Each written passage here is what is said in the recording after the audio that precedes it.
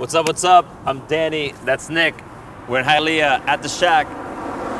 We're about to check out Jai Alai. Stick around. Florida See you room. later. Florida Room, episode two.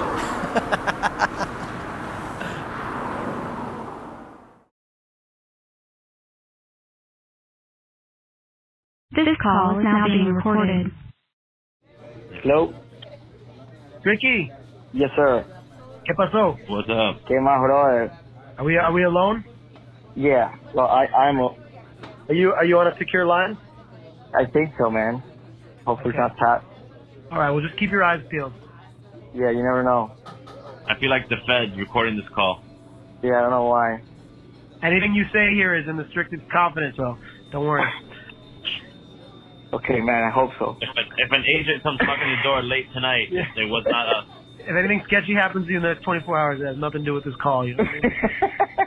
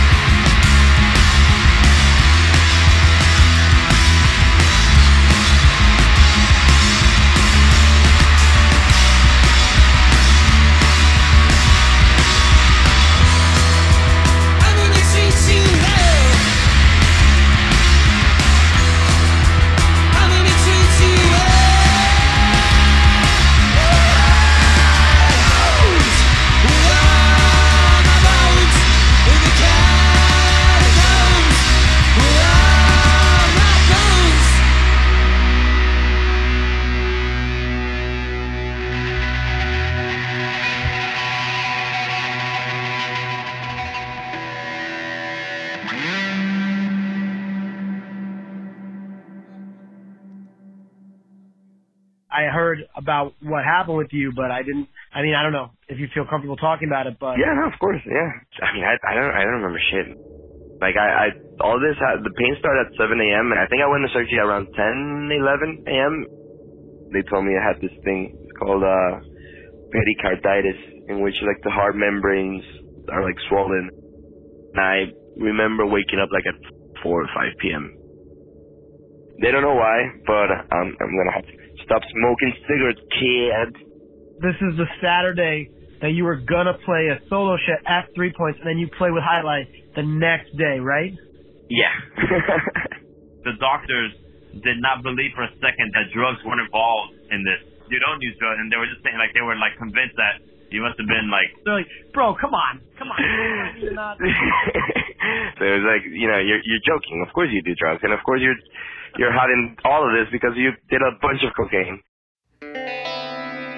You're in the hospital in the wheelchair, and then like bang, you're like you're up on stage, like yeah. People typically have a heart attack after they play. I thought of it as like a logical point. I shouldn't have played the show, but I mean, I, I couldn't let my buddies, you know, play without me. Like, I want to be with them. must go on. At the very least, if it would have gone horribly wrong. on stage, yeah. And maybe Highlight would be more famous now.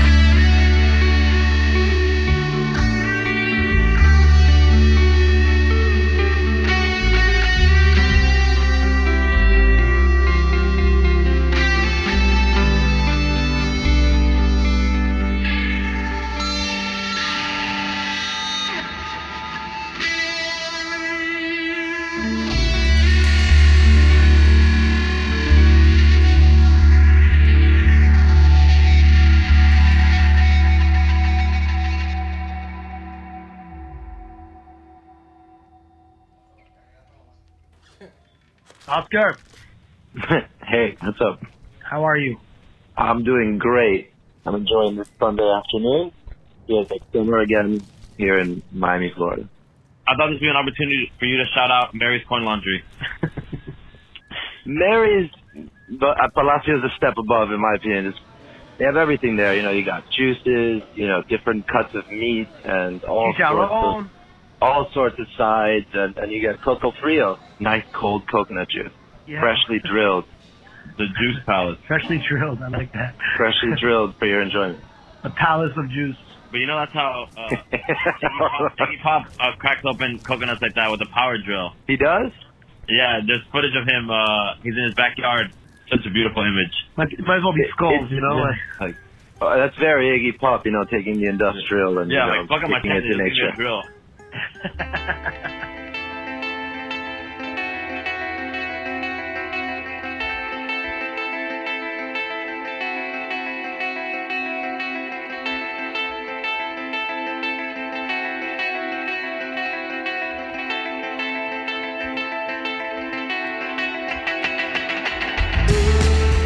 Yo, this is Hey, Mario. what's up, guys? Yeah, what's up? yo, it's Nick and Danny, dude. Tell me about like your first moment. Like, what do you remember about discovering music, or um, you know, when you started playing? when I was a kid, I, I, I asked my mom to buy me a, a guitar, a Guitar Hero, and so I started playing it and had all these really cool, you know, classic rock songs, you know. And then later on, dude, uh, when the Beatles Rock Band came, it was like this whole new world opened in front of my eyes. I mean, I learned so much from that fucking game, dude. Like you have Yo, no like idea. I think my favorite song to play was uh, "While My Guitar Gently Weeps." because uh, because George Harrison will be sitting down at, uh, at the top of this mountain with his legs crossed playing the guitar, and I would always like to see that image, you know. So I will always Dude, I I always go back to Hey, that. Starting to think of Guitar Hero as sort of like the restricted license of rock and roll, where it's like when you have a restricted, you can still drive a real car, but you know you can only drive at certain hours, and you need to get Exactly. A real car alone is too dangerous. So maybe an electric guitar is too dangerous for real.